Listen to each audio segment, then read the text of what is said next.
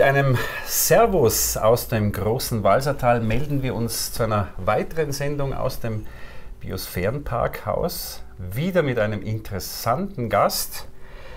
Herr Gerhard Kutnik sitzt bei mir. Schön, dass Sie da sind. Ein ganz besonderer Mann. Er war Vertriebsleiter bei EMI Österreich, hat den Walserstolz also von der Pike auf gemacht. Er ist jetzt in der verdienten Pension und kann es nicht lassen und hat auch noch eine wissenschaftliche Arbeit über das Biosphärenparkhaus geschrieben. Herr Kutnik, Sie kommen und wollen nicht zur Ruhe kommen. Ein richtiger ja. Kärntner. So und es, es freut mich, dass Sie da sind. Was gibt es denn Wissenschaftliches über den Biosphärenpark zu berichten? Ja, der Biosphärenpark als Grundlage vom Weißerstolz der Weißerstolz war meine Aufgabe, ein bisschen mein Leben, die letzten 10, 12 Jahre der aktiven Zeit. Und der Biosphärenpark hat natürlich wie alles andere eine starke mm, Revolution oder starke Veränderungen äh, mit sich gebracht. So wie der Käse, so wie der Weißerstolz, der daraus eben entstanden ist, aus dem Gebiet. Und diese Veränderung wollte ich einmal äh, durchleuchten und hinterfragen, was hat sich getan, was mm, war vor 20 Jahren anders, was ist heute? Besser, schlechter, anders, als es damals war. Und äh, vor allem, wie war das Produkt akzeptiert beim Handel in den ersten Tagen unserer Tätigkeiten? Und wie ist das Produkt heute? Und wie schaut die Zukunft aus.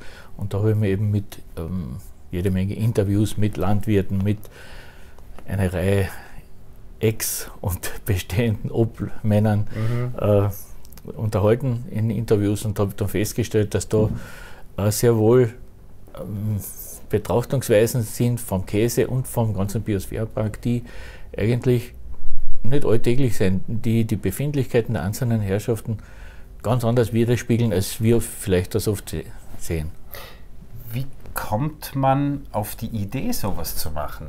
Pure Lust? Ja, der, der Unruhestand. Der Unruhestand. naja, die Grundidee war die, dass ich gesagt habe, ich habe viele Jahre den Weißer Stolz verkauft und es hat oft gut funktioniert, oft hat es nicht so gut funktioniert, aber so richtig genaue Hintergründe habe ich nie gewusst, warum was so war. Mhm. Da habe ich gesagt, jetzt gibt es auf der Uni in Klagenfurt diesen äh, Prozessmanagement und Beratung, einen mhm, äh, mhm, mhm. Uni-Lehrgang mit einem Masterabschluss und da habe ich gesagt, na, ich schreibe mich dort ein und, und ich versuche einmal aus verschiedensten Blickwinkeln jetzt meine vergangene Arbeit ja. einmal zu durchleuchten und ja. zu schauen, warum ist denn was gegangen und warum ist was nicht gegangen. Ja. Und das ist irrsinnig spannend, weil früher hat man ganz, ganz einfache, kurzfristige Entscheidungen gehabt, Preis, Produkt, Kunde, aber dass da viele Dinge dahinter stehen, die Zeit habe ich früher nicht gehabt, mich damit zu beschäftigen. Zum Beispiel Dinge, die dahinter stehen, wie auf dem Produkt, auf dem Sie sitzen, auf dem Naturprodukt auf Heu zum Beispiel oder Gras, so aus dem der Weißerstolz schlussendlich erzeugt, auf den Markt gebracht worden ist. Jetzt haben Sie mir die Anfangszeiten erklärt. Sie haben den Weißerstolz in jedes kleine Geschäft getragen auch, oder wie auch, war das? Auch. Äh, natürlich am Anfang Feinkostgeschäfte, die natürlich prädestiniert waren, damit sie irgendein besonderes Produkt verkaufen. War, war der Walser Stolz ein, ein Premium-Produkt? Es war ein Premium-Produkt, aber wir wollten es so Oder positionieren. Ist? Er ist es nach wie vor. Ja. Äh, und dieses Produkt hm, hat natürlich in der großen Kette gleich am Anfang nichts verloren gehabt. Also haben wir begonnen mit dem äh, Feinkostgeschäft am Naschmarkt und ah, am ja. Äh, Viktor Adler Markt und in Wien und haben wir aber gleich feststellen müssen, es gibt ein West-Ost-Gefälle. Also ja. dieses Würzige und Tolle, auf das wir da so stolz sind, das war in Wien gar nicht so gefragt oder im Osten Österreichs, weil das war zu würzig. War zu würzig? Das war zu würzig für ihn.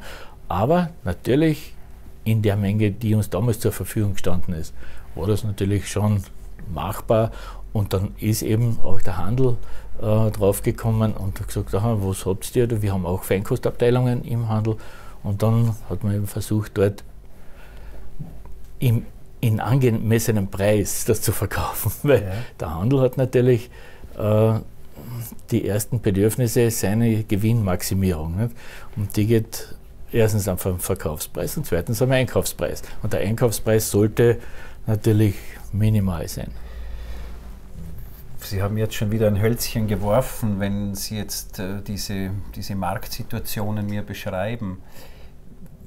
Wie geht das? Ich meine, wir haben schon gehört von der Marketing-Lady, die wir zu Besuch hatten, dass die Milch, die aus dem großen Walsertal kommt, auch einmal begrenzt sein kann, damit man keinen Walserstolz herstellen kann, weil es nur eigene, eigene Leute sind. Jetzt wird der Markt aber überschwemmt mit Käse, vielleicht auch weniger aus dem Premium-Bereich ja. sogar. Wie geht man in, in dem Hause, in dem Sie erfolgreich tätig waren, um damit, dass es so eine Schwemme gibt? Es gibt die Schwemme vom Bergkäse. Und die, unsere Idee war ja, diesen Bergkäse der kann aus dem Zillertal kommen, der kann aus irgendwelchen Tälern in Österreich bis in die Obersteiermark kommt Bergkäse. Mhm. Diesen Bergkäse aus der Region des Biosphärenparks, diesen Bergkäse zu einer Marke zu machen. Und die Marke kann ich dann mit Markenumfeld verkaufen. Ich kann dann hingehen und sagen, der Biosphärenpark kann das, das, das, das. Und daher ist dieses Produkt einzigartig. Ich muss mich unterscheiden von sämtlichen anderen Bergkäsen nicht vom Preis, das war die schlechteste Idee. Mhm. Ich muss mich durch irgendwelche Attribute dieses äh, Produkts unterscheiden und dann kann ich dann dieses Verkaufsmodell pflegen und auf Jahre hinaus äh, eine Marke am Leben erhalten. Wenn ich jetzt nochmal ganz kurz zurückspringen darf, sehr interessant, aber Walser Stolz rühmt sich ja auch mit, dem, mit, de, mit der Aussage, dass es den nicht immer geben kann, weil die Natur die Ressourcen dafür zur Verfügung stellt. Und wenn die Natur die Sache nicht hergibt, sprich die Kühe nicht die Milch, dann gibt es auch keinen Walserstolz. Ja. Meinen Sie nicht heute, dass diese Lücke ausgenützt wird? Kann man sich das im Hause Emmy leisten eigentlich, einmal mhm, ja. einen Monat lang nichts auf den Markt zu bringen? Man muss sich leisten, wenn die Natur und wenn eben die Produktion das so vorbestimmt. Das ziehen Sie eisern durch. Es ist, ja, es gibt keine andere Möglichkeit. Äh, man kann nicht Käse herzaubern. Und so viel können Sie nicht auf Lager es, produzieren? Es ist unangenehm im Verkaufsgespräch, weil das Verständnis, das wir jetzt da in der Region aufbringen, mhm. dass das ja aus der Natur kommt und aus der Natur nicht immer endlos produziert werden kann, dieses Verständnis hat oft ein Einkäufer nicht, der von irgendwoher kommt und im fernen Osten sitzt in Österreich. Ja. Und dieses Verständnis fehlt oft. Und da gibt es schon schwere Diskussionen. Ja. Weil man ist dort natürlich bestrebt, dass man kontinuierlich Käse zur Verfügung im Regal hat. Wenn ich ganz bösartig bin, sage ich, das ist im Zeitweise ziemlich wurscht, was so wir da es. in der so Natur äh, für Probleme oder für Voraussetzungen haben. Und das ist eben auch und dann das Geschick des Verkäufers, das so hinzubringen, dass, wenn ich bei der Tier hinausgehe, dass er meine Meinung vertritt und sagt, na okay, das ist es. Und gerade gestern habe ich äh, ein schönes Beispiel gehört, Moncherie gibt es auch nicht immer. Ja. Die Kirschen wachsen okay, nicht immer. Ja. ja okay. Und uh, in diese Richtung vielleicht, dass man das ein bisschen pflegt, mit einem schönen Umfeld eine Geschichte aufbereitet und dann.